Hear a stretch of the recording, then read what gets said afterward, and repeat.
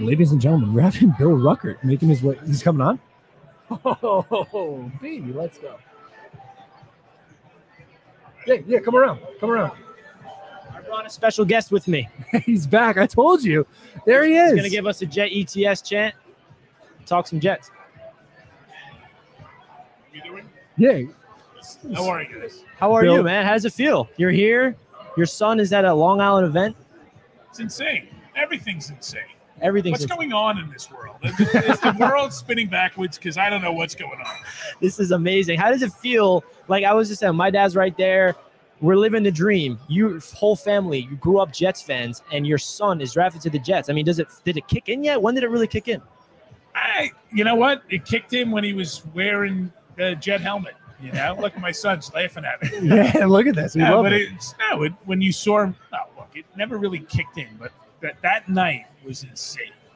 Just watching that whole thing, and you're looking at you know him going from. I don't know if he's he's going to be drafted to. I don't know if he's going to be drafted to. Holy shit, he's a jet, and that's what's going on. It's nuts. So uh, this is obviously we don't have to worry about this. So you can answer this however you want. But if Uh, Jeremy was drafted somewhere else, were you still going to root for the Jets too and his team, or were you just like, I'm over as a Jet fan, so I got to root for my you've kid? read the stories, have you seen the other things? I've had Jet stuff my entire life. Yeah. I'm always going to be a Jet fan. Okay. And even like, you know, you don't want to talk about these things, but you know, it is a business and eventually there might be a day it might be a little mad at the Jets, but you don't know how it's gonna go. But I you can't take it out of him. He's still gonna be green uh, bleeding green, you know, and it's like so no, but again, it was like like, hey, this is great. My kid's gonna be drafted to oh my god, my kid's a Jet.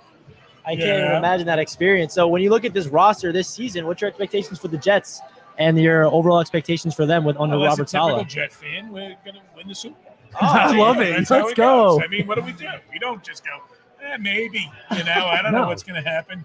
You know, they're not going to be. You know, we're looking at two win. Nah, we're going to win the Super Bowl until you know you see how the you know season goes out. you know, And you were with Jeremy when you went to sign the contract at One Jets Drive. So what are your thoughts of being in the facility, seeing the, did you meet any of the coaching staff, any in the front we met office? all of them. They were all great. You know, uh, meeting uh, Rex, meeting you know Joe Douglas, Coach Sal, all, all of those guys. It's you know, look, it's great. I mean, we were fortunate when he was went to the opening, and we were able to go and be inside the facility and see when he was playing Uh-huh. and stuff like that. But still, it's like you know, he wasn't wearing green. Yeah. Now he's wearing green.